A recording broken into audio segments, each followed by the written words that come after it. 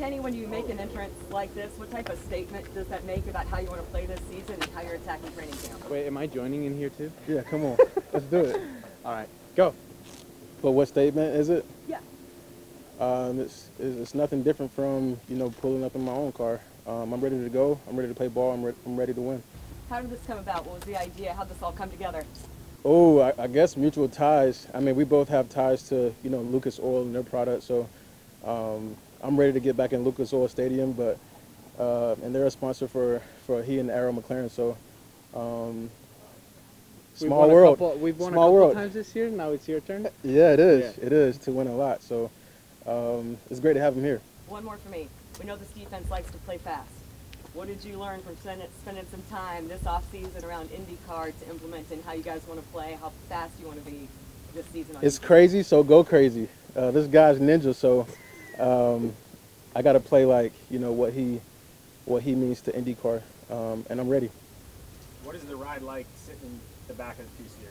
Uh, very uncomfortable, but you got to get comfortable being that way. how rough that was. you can feel every every bump, um, and it's not great on the asphalt or, or, or rocks, but um, shoot, we here, we made it here, thankfully.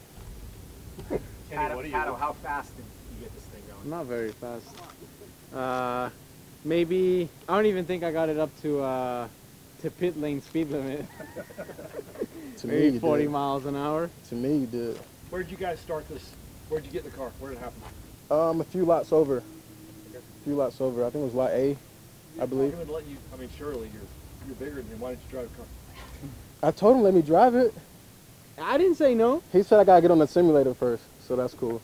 No, I told me I had to get on the simulator and then actually drive the real Indy car. Kenny, you've been around IndyCar a lot this offseason, it seems like.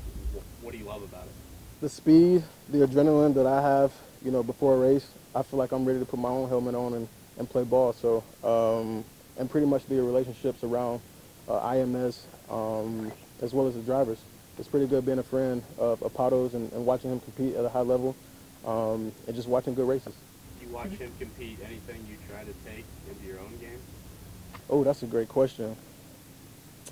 Uh, not that I thought of, Full send, bro. but uh, you know, just competing at a high level, and uh, whether he thinks he himself is doing good or, or not, you know, he still competes, and you know, maybe he pulls out a victory, maybe he, he just gets points that that, that race, but um, just keep compl- competing, and you never know the outcome. And you've been around a long, a long time right now. What's, what's the, ne- what's it take to get you guys to the next step as a team? Uh, just t- coming together and take advantage of practice, because that's where we're going to put everything together to to correlate to the field on Sunday. So um, the things that we do in the shadows, it'll come to light. Very few players on this team have been to the Super Bowl. Does that matter, or you- is it something that you can build toward regardless? Nah, each year is different. Uh, we got our own goals, and um, you know, we just got to put it together right now today. And you know, whenever we, you know, play the Seahawks in September, um, you will see everything that we've, you know, instilled. You said everybody thinks their own goals. What are your goals? Oh, individually or a team? I, I, I feel like for me individually, I like to hold those personally, because I can stay on myself. I don't like when.